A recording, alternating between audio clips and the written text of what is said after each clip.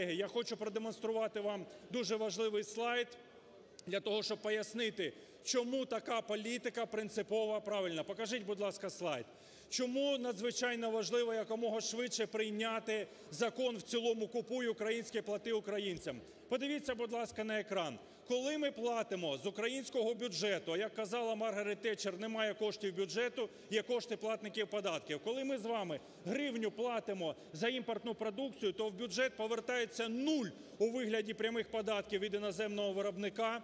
Коли ми платимо українському виробнику, то на першому ж колі оподаткування в бюджет повертається 7 копійок прямих податків: податок на прибуток, на доходи фізичних осіб, на землю і так далі. Більш того, українське підприємство машинобудівне платить 8 копійок з гривні заробітну платню українцям. Це означає створення додаткових робочих місць, це означає платоспроможний попит.